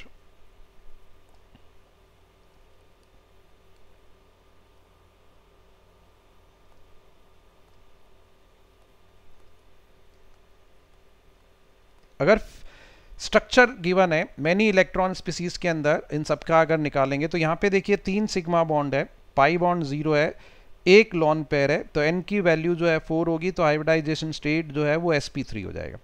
यहाँ पे सिग्मा बॉन्ड जो है दो है पाई बॉन्ड एक आ गया लॉन पेयर एक है तो एन की वैल्यू जो है वो सिग्मा और लॉन पेयर का सम निकालना है तो थ्री होगी तो हाइब्रिडाइजेशन स्टेट जो है वो एस आएगा। यहाँ पे एक सिग्मा बॉन्ड होगा दो पाई बॉन्ड होंगे, एक लॉन पेयर होगा एन की वैल्यू टू होगी हाइब्रिडाइजेशन स्टेट जो है वो एस पी आएगा। यहाँ पे फाइव सिग्मा बॉन्ड है, पाई बॉन्ड ज़ीरो है, लॉन पेयर ज़ीरो है सम फाइव आएगा तो ये एक हमारे पास में थर्ड पीरियड एलिमेंट है तो थर्ड पीरियड एलिमेंट के लिए जो डी ऑर्बिटल होता है, वो हायर एनर्जी डी ऑर्बिटल होता है तो इसलिए वो एस पी के बाद में ही लिखा जाएगा। ठीक है? उसको पहले नहीं लिख सकते हैं।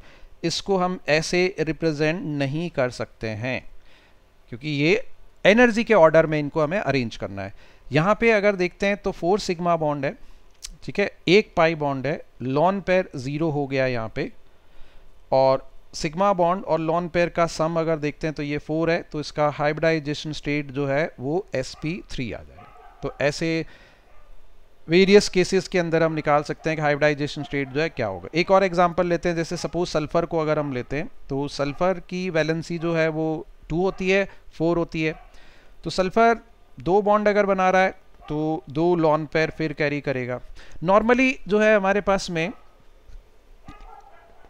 जो लेस इलेक्ट्रोनेगेटिव एलिमेंट होते हैं थर्ड पीरियड एंड ऑनवर्ड तो उसके अंदर हाइब्रिडाइजेशन स्टेट ग्राउंड स्टेट के अंदर जनरली कंसिडर नहीं करते हैं। तो फॉस्फरस और सल्फ़र के लोअर वैलेंसी स्टेट में जो एटम्स होते हैं, वो अनहाइब्रिड ऑर्बिटल्स को ही बॉन्डिंग में यूटिलाइज करते हैं। तो मैं यहाँ पे सल्फ़र के लिए जस्ट अगर हाइपोथेटिकली अगर सोचता हूँ तो ये इस टाइप से हमारे पास में बॉन्डिंग हो जाएगी।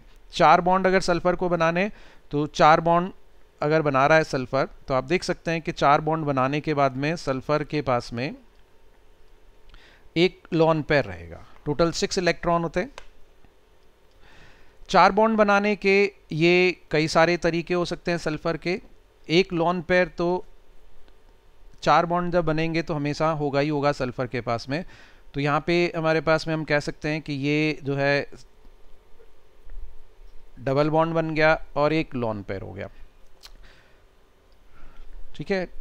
चार बॉन्ड अगर बनाने हैं तो एक ट्रिपल बॉन्ड हो गया। और एक सिंगल बॉन्ड हो गया और फिर एक जो है हमारे पास में लॉन पेयर आ जाएगा। तो चेक करना पड़ेगा कि ऐसा किस स्पीसीज में हो रहा है। जस्ट हाइपोथेटिकली मैं वेरियस केसेस ले रहा हूँ। ना अब अगर सिक्स बॉन्ड अगर बनाने इसको तो सिक्स बॉन्ड जब बनाएगा तो कोई इलेक्ट्रॉन पेयर नहीं रहेगा। तो ऑल सिक्स जो है वो सिंगल बॉन्ड हो सकते हैं। या फिर हम ये कह सकते हैं कि इसके अंदर जो है वो दो डबल बॉन्ड हो सकता है और दो सिंगल बॉन्ड हो सकता है। या फिर इसके पास में तीन डबल बॉन्ड हो सकते हैं। तो ये ऐसे वेरियस पॉसिबिलिटीज हो गई इसमें से कुछ हाइपोथेटिकली है। सो so, तो यहाँ पे sigma bond pi bond lone pair N N hybridization state तो सिग्मा बॉन्ड यहाँ पे दो है पाई बॉन्ड ज़ीरो है लॉन पेयर दो है। तो सम यहाँ पे फोर हो जाएगा। तो ऐसी स्पीसीज में अगर हाइब्रिडाइजेशन स्टेट अगर होगा तो एस थ्री होगा। कुछ केसेस में नहीं होता है। तो यहाँ पे सिग्मा बॉन्ड एक है पाई बॉन्ड एक है लॉन पेयर जो है दो है तो सम जो है थ्री हो जाएगा hybridization state S P two आएगा। यहाँ पे फोर सिग्मा बॉन्ड है पाई बॉन्ड जो है ज़ीरो है लॉन पेयर जो है वन है एन की वैल्यू जो है यहाँ पे फाइव होगी तो हाइब्रिडाइजेशन स्टेट जो आ रहा है, वो एस पी थ्री डी आ जाएगा। यहाँ पे थ्री सिग्मा बॉन्ड है, एक पाई बॉन्ड है, और एक लॉन पेयर है तो एन की वैल्यू फोर हो जाएगी, ये एस पी थ्री आ जाएगा। यहाँ पे दो सिग्मा बॉन्ड है, दो पाई बॉन्ड है, और एक हमारे पास में सॉरी इसमें एक लाइन जो है, ठीक है तो ये फोर हो गया ना तो लॉन पेयर एक ही रहेगा तो एन की वैल्यू जो है हमारे पास में थ्री हो जाएगी। अगर इसका हाइब्रिडाइजेशन स्टेट अगर होगा तो एस पी टू होगा। तो ये कुछ हाइपोथेटिकली मैंने फिगर ले लिए हैं। सिग्मा बॉन्ड यहाँ पे सिक्स है पाई बॉन्ड ज़ीरो है लॉन पेयर ज़ीरो है तो एन की वैल्यू सिक्स हो गई। तो सिक्स हाइब्रिड ऑर्बिटल की रिक्वायरमेंट होगी। सिक्स हाइब्रिड ऑर्बिटल के लिए सिक्स एटॉमिक ऑर्बिटल्स को यूज़ अप करना पड़ेगा। और सिक्स एटॉमिक ऑर्बिटल का मतलब हो गया कि हमारे पास में एक S orbital four P orbital and two D orbitals use होगा। अब ये एक थर्ड पीरियड एलिमेंट है तो इसलिए इसमें डी ऑर्बिटल हायर एनर्जी वाला डी ऑर्बिटल है तो इसको आप D two S P three की तरह नहीं लिख सकते। ऐसा सिर्फ़ fourth period and onward possibility होती है और वो भी सिर्फ़ ट्रांजिशन एलिमेंट के अंदर। यहाँ पे जो है फोर सिग्मा बॉन्ड है और दो जो है हमारे पास में पाई बॉन्ड है लॉन पेयर ज़ीरो है तो सम हमारे पास में फोर आ जाएगा। हाइब्रिडाइजेशन स्टेट जो है वो एस पी थ्री होगा। यहाँ पे थ्री सिग्मा बॉन्ड है थ्री पाई बॉन्ड है लॉन पेयर ज़ीरो है सम थ्री आ जाएगा। और हाइब्रिडाइजेशन स्टेट जो है वो एस पी थ्री आएगा। तो जहाँ पे मल्टीपल बॉन्ड आ गया डबल बॉन्ड आ गया, वहाँ पे एक पाई बॉन्ड आ गया और पाई बॉन्ड जो है वो अनहाइब्रिड ऑर्बिटल से बनता है। तो ये एक जस्ट आप नोट ऐड कर लीजिए कि पाई बॉन्ड जिसको पाई सिंबल से हम इंडिकेट करते हैं is formed by un hybridized, p और d orbitals of central atom और जो सिग्मा बॉन्ड होता है, ठीक है sigma bond is formed by hybridized orbital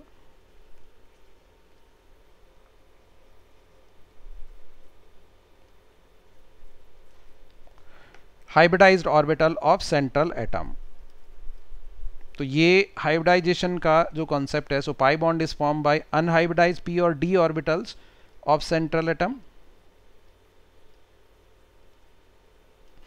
and sigma bond is form by hybridized orbitals of central atom तो ये हमारा हाइब्रिडाइजेशन स्टेट है। ऐसे हाइब्रिडाइजेशन स्टेट निकाल करके किसी मॉलिकुलर स्पीसीज की ज्योमेट्री हम प्रिडिक्ट कर सकते हैं। तो ज्योमेट्री जो है रिप्रेजेंट करता है arrangement of all types of electron pairs around center atom. तो हमें इस टॉपिक में यही डिस्कस करना था। So thank you very much for watching this topic hybridization and molecular geometry